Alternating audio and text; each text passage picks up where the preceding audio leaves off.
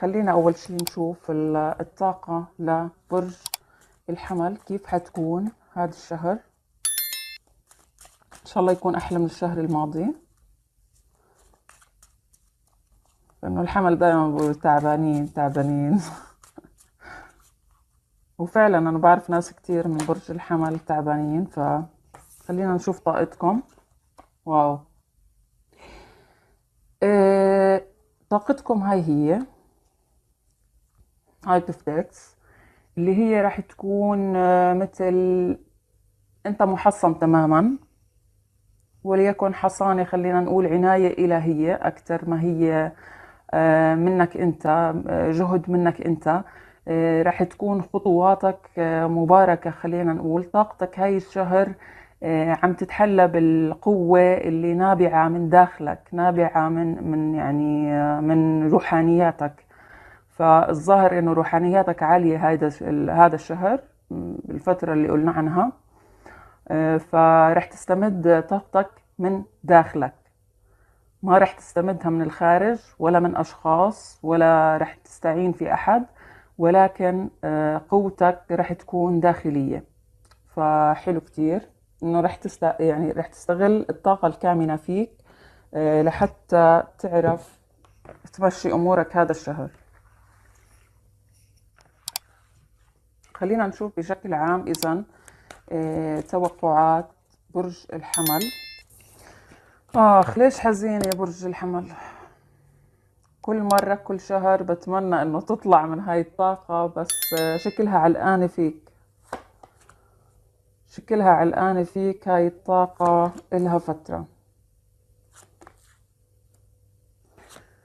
طبعا نحن بنفتح بشكل عام العاطفة إذا بينت عنا بنحكي العمل الصحة السفر أي شيء ببين بنحكي عنه. ما حكينا عنه فما بيكون آه ما بيكون موجود بالورق أو ما بيكون في فرصة كبيرة لإله. يعني أحيانا بالقراءة يعني ما ببين عندي سفر.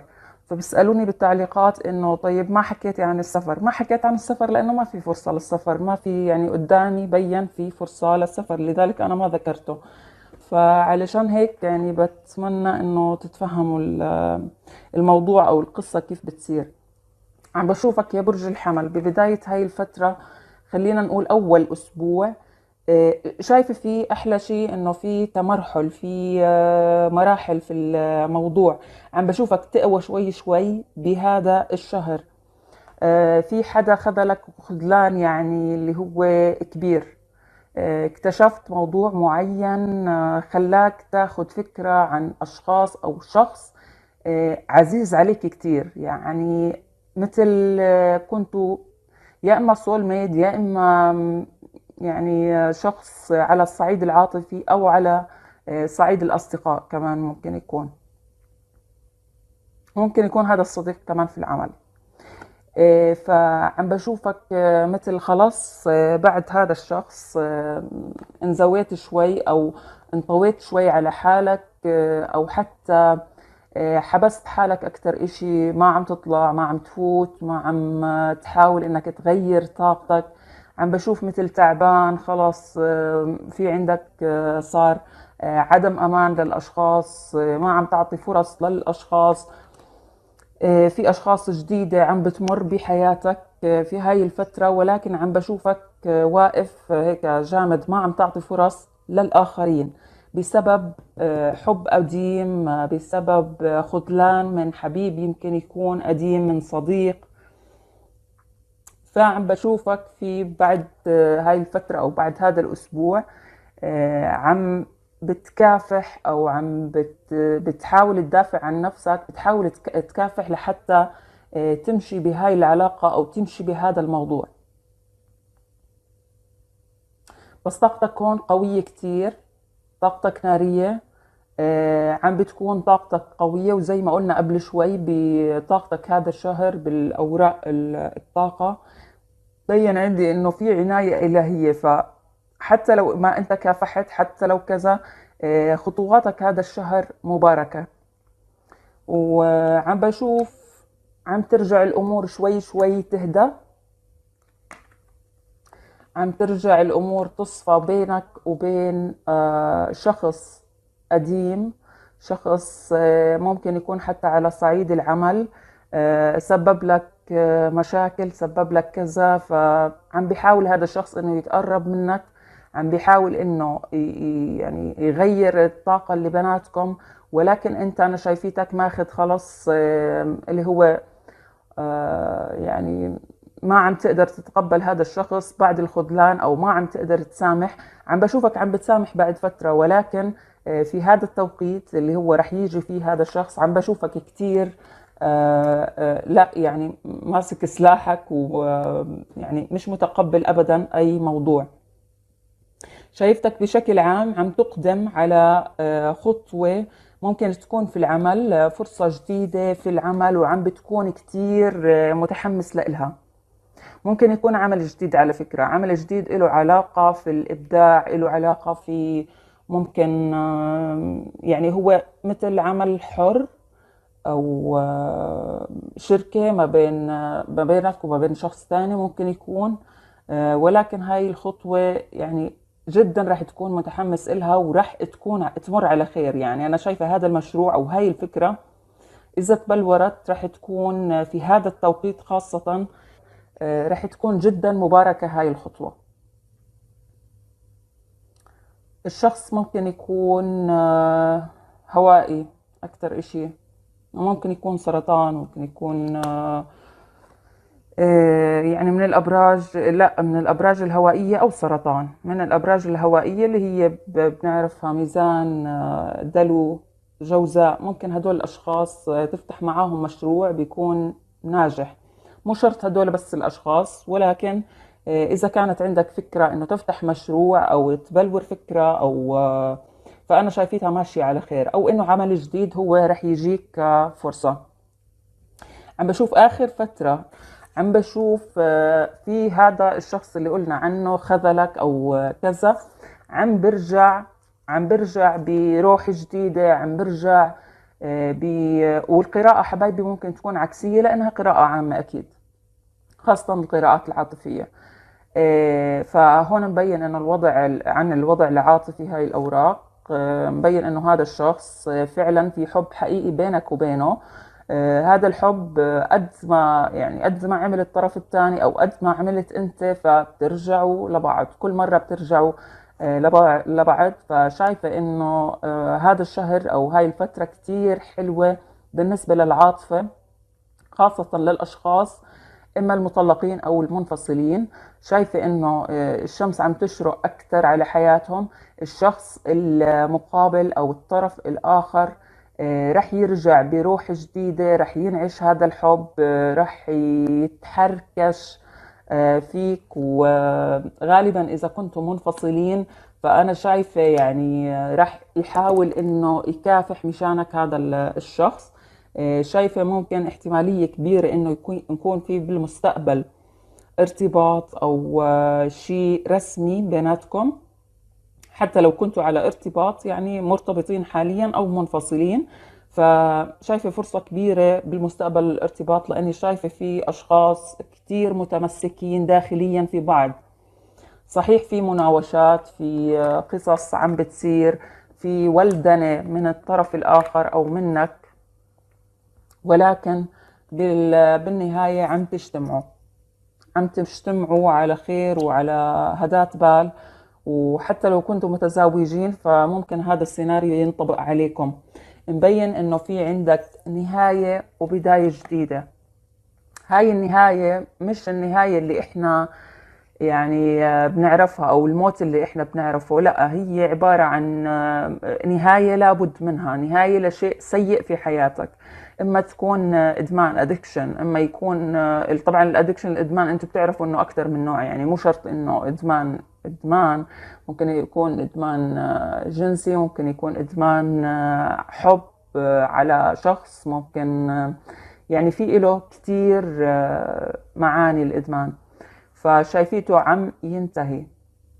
وعلى فكرة هذا الكرت ممكن يكون نهاية لعلاقة ثالثة لأنه أنا بشوف هون في طرف ثالث عم بيوقف آه، يعني تجاه هاي النهاية ما بده هذا الموت لعلاقتهم مع بعض ولكن آه، النهاية لابد منها. والبداية عم بشوف الطرف الثاني عم بيقدم لك آه، يعني عرض عم بيقدم لك اعتذار عم بيقدم خلينا نقول صفاء نية. فكتير معقول هذا الشهر يكون رجوع للمطلقين أو للمنفصلين.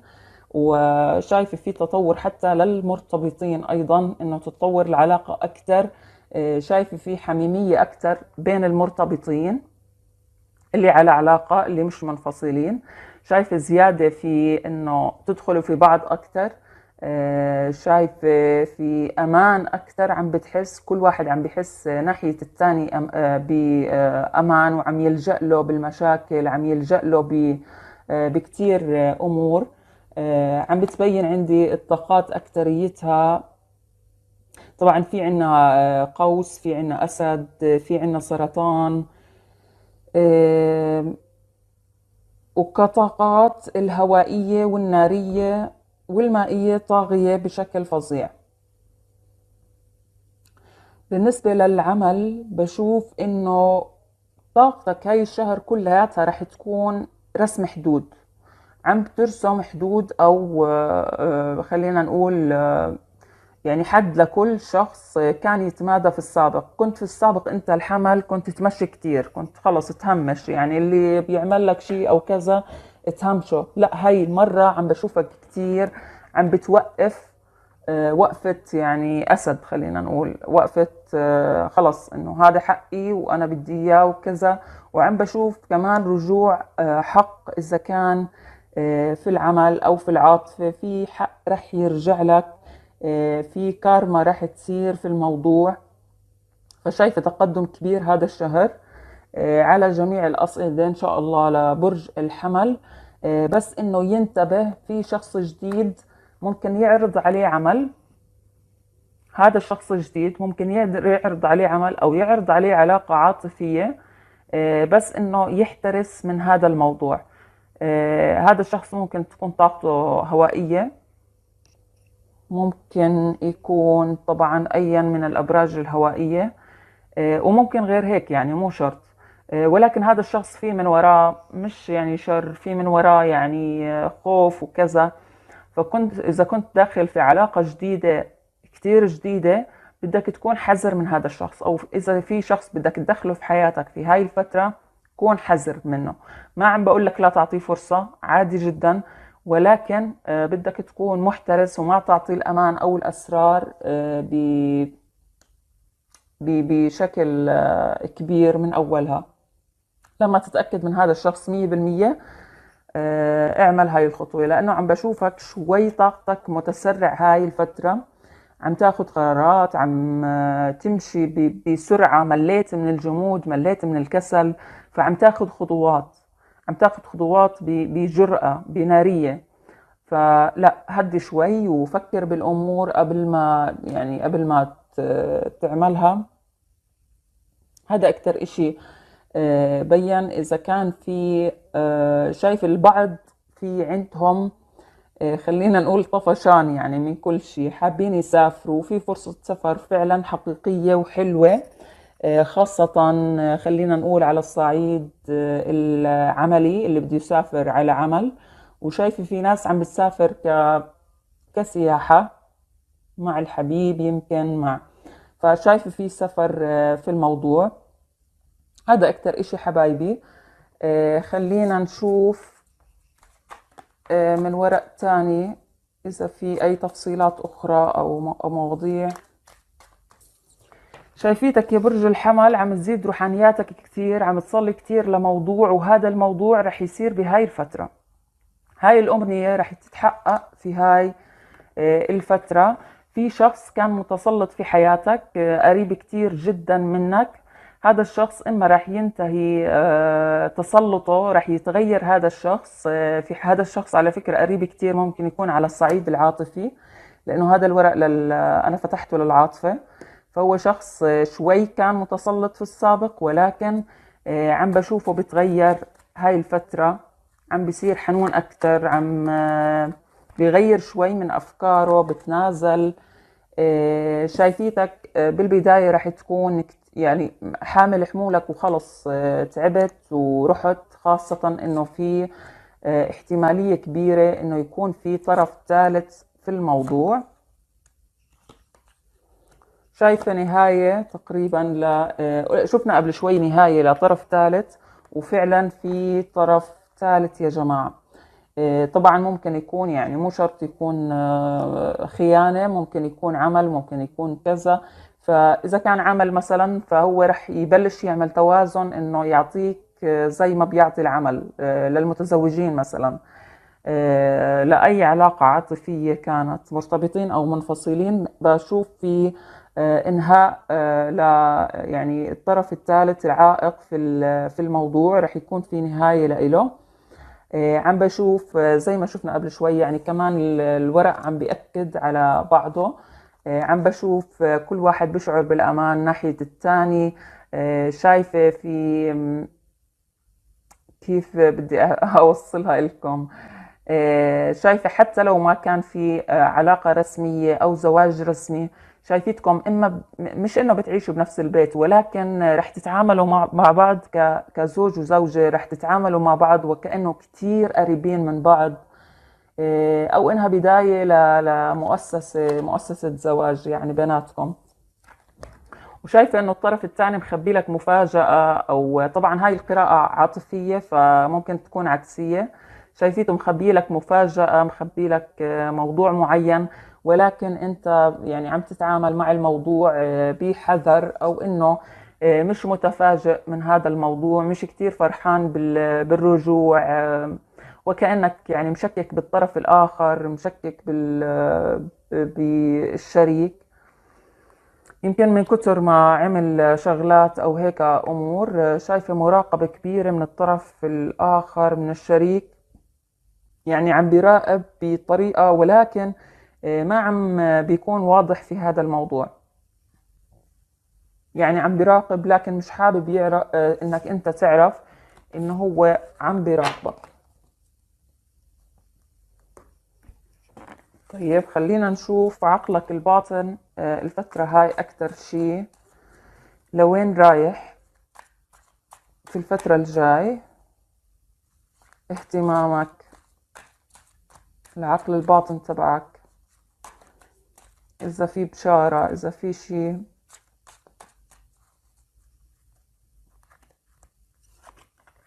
آه. حبيبي قلت لك في شخص جديد رح يدخل حياتك فرح يكون بعقلك الباطن مثل صراع داخلي. آه إنك تختار ما بين شغلتين اما إما تختار ما بين الحبيب القديم اللي موجود من الأول والشخص الجديد اللي رح يدخل حياتك اللي قلت لك كون حذر شوي معه. أو إنه على الصعيد العملي رح تكون بين خيارين بين عمل جديد وعملك اللي أنت فيه أو إنك تترك الشغل وتمشي. فرح يكون في قدامك خيارين تختار آه، منهم. رح يكون كتير آه، صعب الاختيار ولكن أنا شايفتك رح تختار الشيء المناسب. يعني على خير. هذا هذا الموضوع إن شاء الله رح يتم على خير. طيب في تحذيرات غير اللي قلناها؟ خلينا نشوف ورق التحذيرات. أيوه. شوف حبيبي عم يكون عندك آه، تقريبا هاي الفترة موضوع اللي هو عم بت... بعقلك الباطن بتفكر بالأمور ب أوهام كتير آه، في أمور عم بتضخمها عم بتضخم كتير الأمور وتحسب حسابات كتيرة تستنتج آه، تحلل تحليلات كتيرة عم بتعيش شوي بالوهم بالهواجس بالخوف.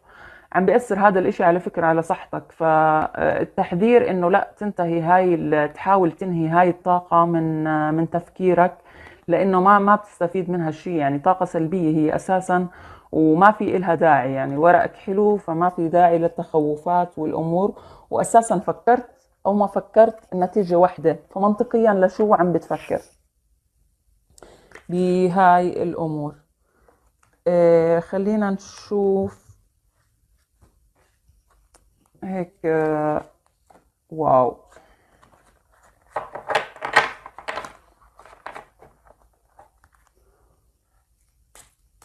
إذا في نصيحة من ال fairy cards